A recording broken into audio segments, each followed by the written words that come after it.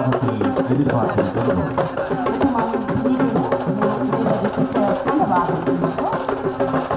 to the party that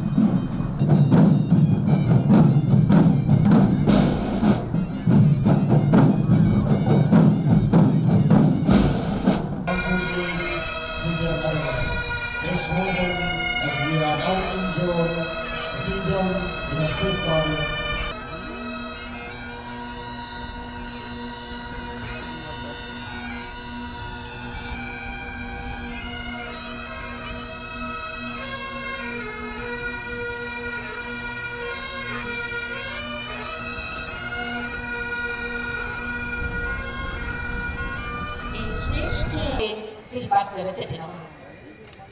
ඒ වශයෙන් තම පෙරිකර සේවය ශ්‍රී ලංකා මාතාව වෙනුවෙන් කළ කළ අද්රාල් දමින්දරන්දු අභිහිත රණවිරුවාණන්ගේ ආදරණීය බිරිඳ එල්.එම්. ප්‍රනාන්දි මැතිනියට අප ආරාධනා කර සිටිනවා.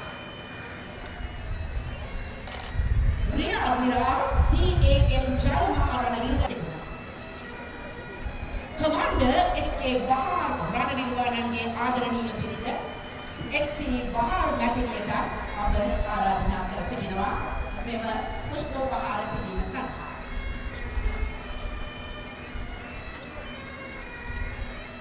ශ්‍රී ලංකා නාවික හමුදාවේ සේවය කරමින් පුෂ්පෝපහාර දැක්වේ. ඒ සඳහා අප ආරාධනා කර සිටිනවා නියෝජ්‍ය පොලිස්පති UDRPN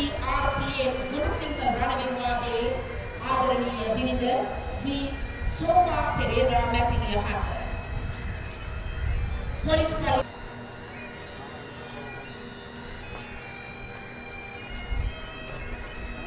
හට අපේ ආදරණීය දුප්පතුන් හට මතු අනාගතයේ උපදින ශ්‍රී ලාංකීය දුප්පතුන් හට නිදහසේ හුස්ම ගැනීමට වසර 26ක යුද්ධයේ අත්දැකීම් වගේම ඒ යුද්ධයෙන් අපිට අහිමි වූ ත්‍රිවිධ හමුදා පොලිස් සිවිල් ආරක්ෂක අංශවල වගේම සිවිල් ජනතාවගේ සංඛ්‍යාව සියල්ල ගත්විට කොළඹ නගරයේ සිට මියගිය ලක්ෂයකට අධික බව අපි සෑම කෙනෙක්ම දන්නවා.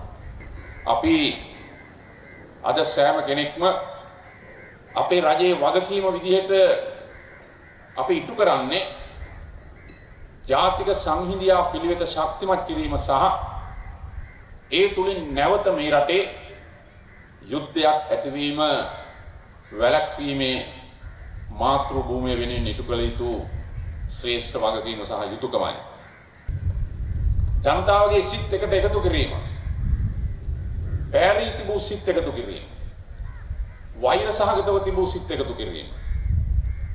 අපේ රටේ සිංහල සහ දමිළ ජනතාවගේ බොහෝ වෙලාවට ගැටුම් සහගත තත්ත්වයන් යුද්ධයේ වසර 26ක කාලයේදී පමණක් නොවේ ඔබ සෑම කෙනෙක්ව දන්නවා. වසර දහස් ගාණක් අතීතයට ගිය විටත් වසර සිය ගාණක් අතීතයට ගිය විටත් රාජ රාජ මහාමාත්‍යන්ගේ රාජ්‍ය පාලන කාලයන් තුල ඇති වූ යුදමය තත්ත්වයන් තුල ඔබ අප සෑම කෙනෙකුට මේ අවබෝධය තිබෙනවා.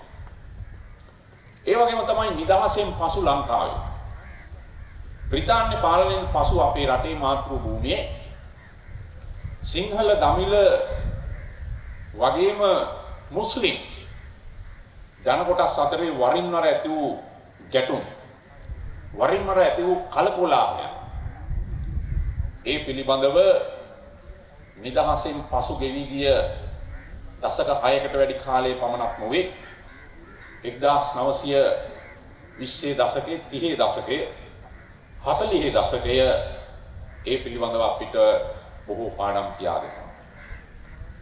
ඒ නිසා අපි පැහැදිලිව කිව්වොත් නිදහසෙන් පසු ලංකාවේ වසර 60 ගණනක කාල සීමාව නොව යුද්ධය පැවති වසර 26ක කාල සීමාව පමණක් නොව අපේ රටේ 20 දශකයේ සිට මේ දක්වාගත් විට විශේෂයෙන්ම වසර 100ක කාල පරිච්ඡේදය තුලද ඒ ගැටුම් පිළිබඳව අපිට අවබෝධයක් තියෙනවා. ඒ නිසා අප විසින් යුද්ධයක් ඇතිවීම වැළැක්වීම වගේම එවැනි ගැටුම් කලකොලාහල සිංහල දමිළ මුස්ලිම් මැලේ බර්ග ජනතාව වගේම බෞද්ධ හින්දු ඉස්ලාමීය කතෝලික මේ සියලු ජන කොටස් අතර එවැනි බෙදීමක් ගැටුමක් අසමගියක් ද්වේෂයක් ක්‍රෝධයක් ඇතිවීම වැළැක්වීම සඳහා අපි අද පිටු කරනු ලබන්නේ අපේ ගෞරවනීය ආගමික නායකයින්ගේ මඟ පෙන්වීම තුළ ආධ්‍යාත්මික වූ කාර්යයක් බව පැහැදිලිව ප්‍රකාශ කළ යුතුයි.